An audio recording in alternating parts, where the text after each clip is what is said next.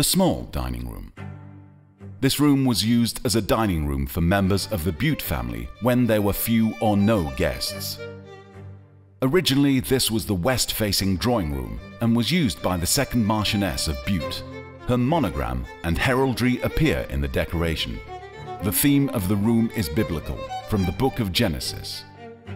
The chimneypiece shows three angels flanked by Abraham and Sarah, and the Greek inscription beneath translates as entertaining angels unawares. The walls were originally intended to be painted, but were unfinished when William Burges died in 1881. The decorated Hessian wall covering was installed in 1890 and acted as a background for family portraits. The table is original to the room and is one of the only two in existence designed to accommodate a fully fruiting grapevine. The Butes grew muscat grapes in the hothouses, as well as having commercial vineyards in South Wales.